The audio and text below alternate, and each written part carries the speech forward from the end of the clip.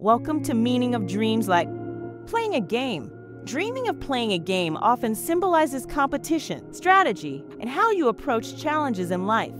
The type of game you're playing in the dream can provide further insight into your current mindset.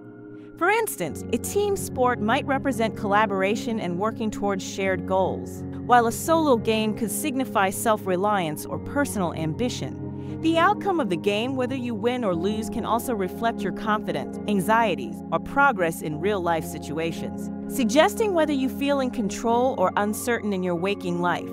On a deeper level, games and dreams may also represent the concept of life's unpredictability or the idea that you may feel like you're being played by circumstances beyond your control.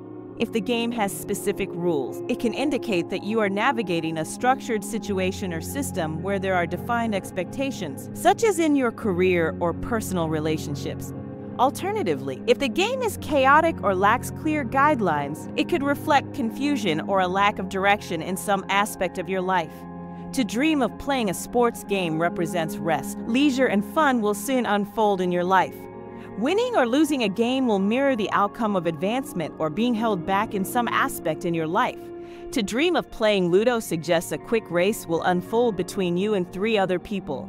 Board games usually reflect how the dreamer navigates and moves in their life advancements to setbacks, gains, and losses. Thanks for tuning in. Ready to dive even deeper into the mysteries of your dreams? Don't miss the index in the description, your guide to unlocking the hidden meanings behind your nocturnal journeys.